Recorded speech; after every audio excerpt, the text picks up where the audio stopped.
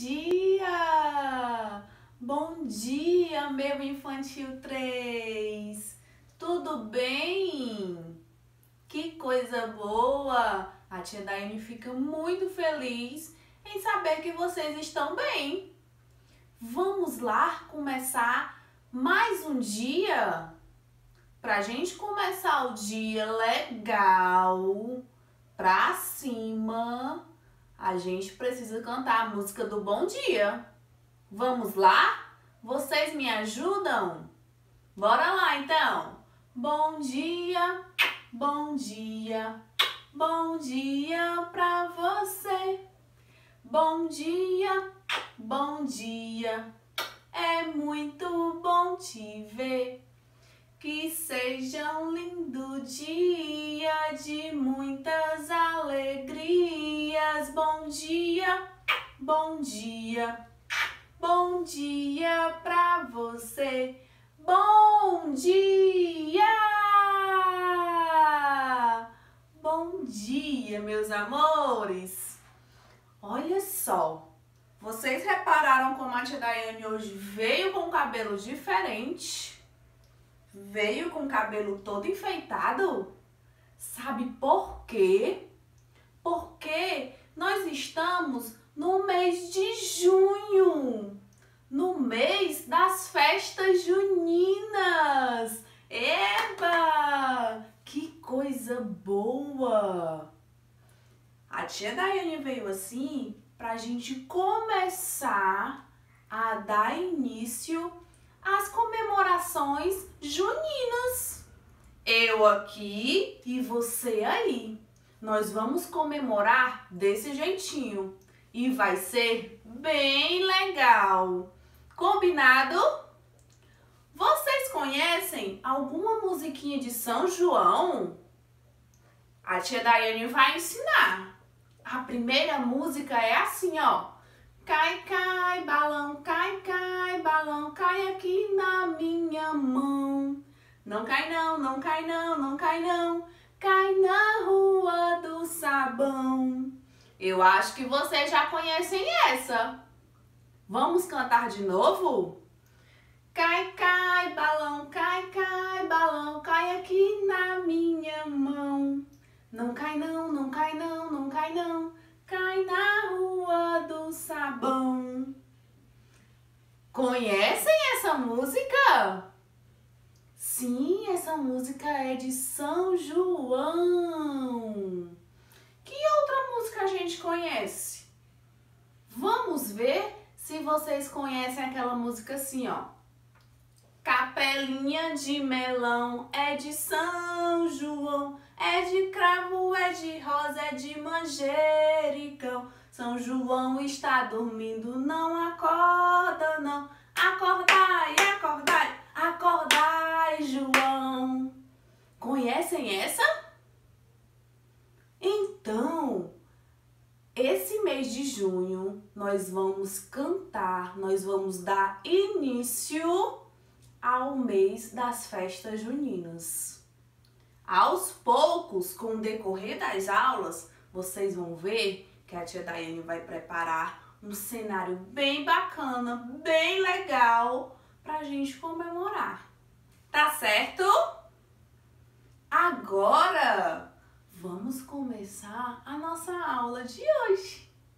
O que será a nossa aula de hoje, hein? Presta atenção. Olha só o que tem aqui perto da tia Daiane. Será que vocês adivinham? O que será o nosso assunto de hoje? Eu vou dar uma dica. Essa dica eu vou cantar. Vai ser uma música e essa musiquinha vai falar sobre o nosso assunto de hoje. Será que vocês vão descobrir, hein? Então, Presta atenção. Ó o ouvido. Vou cantar. A musiquinha é assim, ó. Era uma casa muito engraçada, não tinha teto, não tinha nada. Ninguém podia entrar nela não, porque na casa não tinha chão. Ninguém podia dormir na rede porque na casa não tinha parede. Ninguém podia fazer pipi porque pinico não tinha ali. Mas era feita com muito esmero na Rua dos Bobos, número zero. Entenderam a letra da música? Vocês adivinharam sobre o que é que vai ser a nossa aula de hoje? Olhando para cá, para o nosso cenário e escutando a musiquinha que a tia Daiane acabou de contar, vocês descobriram? Vou cantar mais uma vez. Presta atenção.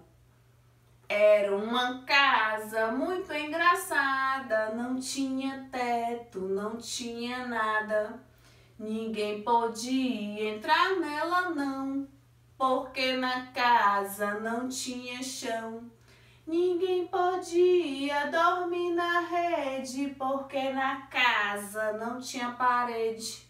Ninguém podia fazer pipi, porque pinico não tinha ali. Mas era feita com muito esmero na Rua dos Bobos, número zero. Acertaram? Adivinharam? Muito bem! Como vocês são espertos! O nosso assunto de hoje, a nossa aulinha de hoje, vai ser sobre a casa vai ser sobre moradia. O que é moradia? Vocês sabem o que é moradia? Moradia é o lugar onde você está. Moradia é a sua casa. Olha só que legal! Moradia é a casinha onde vocês estão. E para que é que serve a nossa casinha, hein? A nossa casinha serve para nos proteger. Ela nos protege do calor, do frio, da chuva, dos ventos fortes.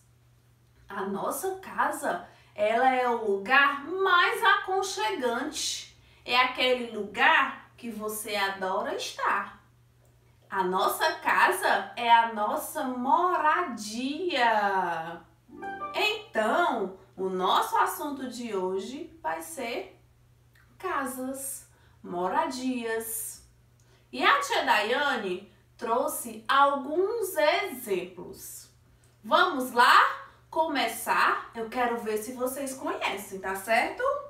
O primeiro exemplo que a tia Daiane trouxe é esse daqui. Olha só. Que moradia é essa, hein? Vocês conhecem essa moradia? O nome dessa moradia aqui é iglu. O iglu é uma casinha toda feita de gelo. Nossa, que interessante, tia Daiane, que legal! Uma casinha toda feita de gelo? Sim, uma casinha feita de gelo. Essa casinha, essa moradia, ela fica nos lugares frios, muito, muito, muito, muito frio. Essa casinha é a, a casinha do pinguim. Os pinguins gostam de estar dentro dela. O iglu é uma moradia feita de gelo. Agora, essa moradia aqui, vocês conhecem? Olha só essa moradia. Quem é que conhecem essa moradia? Quem é que conhece? Vocês conhecem? O nome dessa moradia aqui é oca. A oca é uma casinha feita de palha, construída toda de palha. E ela é a casinha onde o índio mora. Os índiozinhos constroem a oca, essa moradia aqui, para morar, para proteger eles do frio, do calor. Essa moradia se chama oca. E quem mora nela é o índiozinho. Vocês já conheciam a casa do índiozinho? Ela é assim, ó. Agora, depois da casa do índiozinho, a tia Daiane trouxe outro exemplo. Esse daqui vocês conhecem. Olha só esse.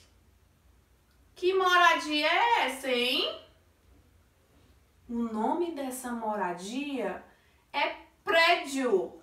Prédio ou apartamento, como muita gente conhece. O prédio ou apartamento é uma moradia feita de tijolos, de cimento, de areia. Ela é toda construída com tijolos, areia e cimento. No prédio ou no apartamento é um local onde mora várias pessoas. Como assim, tia Daiane? Várias pessoas. Dentro desse prédio existem várias vários outros apartamentos. Vamos ver quantos apartamentos tem aqui? Olha só as janelinhas. Um, dois, três, quatro, cinco, seis. Nesse prédio tem seis apartamentos seis moradias. Olha que legal, que coisa interessante. A tia Daiane mora num prédio.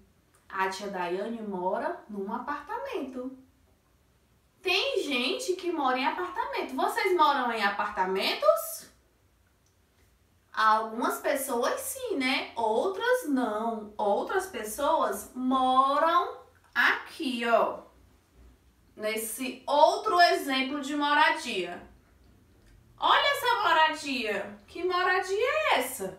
Qual é o nome dela? Essa moradia aqui é a casa. Muito bem.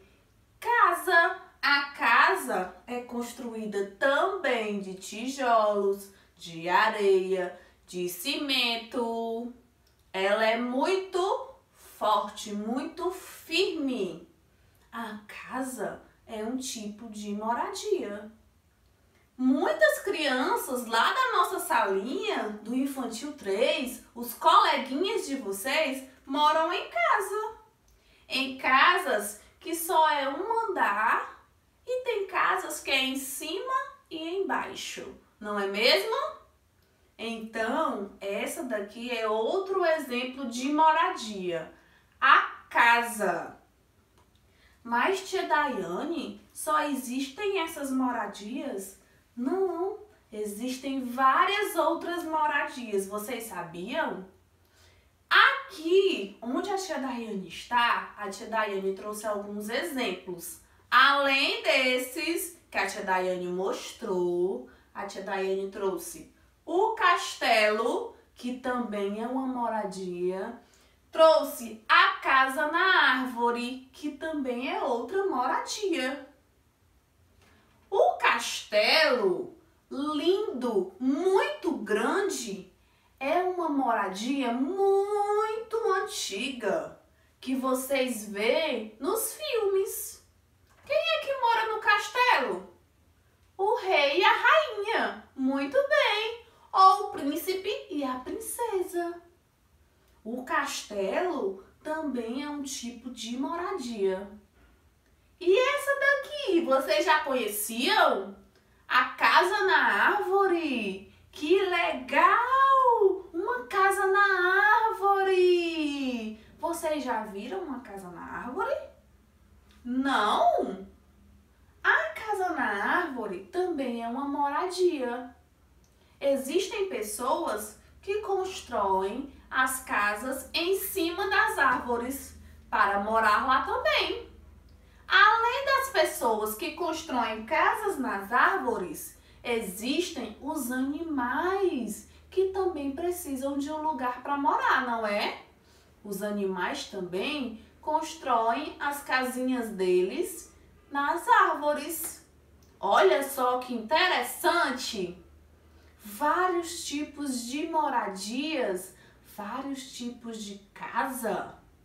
Nem toda casa ela é igual, não é mesmo? Existem casas de vários tipos, muitas casas diferentes. Outro exemplo que a tia Daiane trouxe é a casa dos três porquinhos. Vocês se lembram da casa dos três porquinhos? Um porquinho construiu a casinha assim. A casinha feita de palha. A casinha feita de palha, ela é resistente? Ela é forte? Não, não é, né? Tanto é que o lobo veio, ó, assoprou e a casinha do porquinho foi embora. O segundo porquinho construiu uma casinha de madeira, que também não é muito resistente. Tanto é que o lobo mal veio e assoprou e derrubou a casa do porquinho. E o terceiro porquinho construiu uma casinha de tijolos. Essa casinha de tijolos é igual à sua? Casa é feita de tijolos? Sim! Então a sua casa é resistente, muito forte. A sua casa protege você do frio, do calor e dos ventos fortes. Olha só que legal! Que coisa boa, né? A gente saber que tem uma casinha para nos receber, para receber os amigos, para fazer as comemorações. A nossa casa é o lugar que nos protege. Tá certo, galerinha? Agora, presta atenção no que a Daiane vai dizer. Eu quero que você aí pegue uma folhinha assim, ó uma folhinha branca. Para que essa folhinha branca, tia Daiane? Essa folhinha branca vai ser para você montar uma casinha. Mas, tia Daiane, essa é a nossa tarefinha? Não, essa é uma tarefinha extra que você vai treinar a sua coordenação motora a folhinha de papel assim branco, ó. Pede a mamãe a folha de papel e pede a mamãe também ou palito de picolé, assim, se você tiver. Se você não tiver, pode ser palito de fósforo, também dá certo. O que é que a gente vai fazer? Vou já explicar. Pega aí que a tia Daiane explica já. Agora eu vou explicar a tarefa do livro. No livro de vocês, que é a tarefinha de casa, olha só, você vai marcar um X na casa, na moradia, que mais parece com a sua. Você mora em um prédio? Se você morar em um prédio, você marca o xizinho. Você mora em uma casa? Se você morar em uma casa, você marca o xizinho. Você mora perto da praia em uma casinha feita de madeira? Você mora em, em casas que são todas juntas, uma em cima da outra? Você vai olhar qual dessas casas parecem mais com a sua e vai marcar um X. Depois você vai virar o livro e vai desenhar aqui dentro do jeito que você souber desenhar. Você vai desenhar o cômodo da sua casa que você mais gosta de ficar. Ai, tia Daiane, eu gosto de ficar na sala. Você desenha a sala. Tia Daiane, eu gosto de ficar no meu quarto. Você desenha um quarto. Tia Daiane, Mas eu gosto mesmo é de ficar na cozinha. Desenha a cozinha. Não precisa você se preocupar. O desenho é do jeito que você souber desenhar. Combinado? A tia Daiane quer ver tudo muito lindo e tudo muito bem caprichado. Combinado, galerinha? Agora vamos dar continuidade à tarefinha extra. Pegaram a folhinha, folhinha branca, pegaram os palitinhos, ou palito de picolé, ou palito de fósforo. A mamãe, com a ajuda da cola, vai fazer o desenho de uma casa em cima do papel. E você, criança, vai colar os palitos para formar a casa. Depois que colar, você vai pintar somente dentro do espaço. Essa atividade é para a gente treinar os limites e a sua coordenação motora também.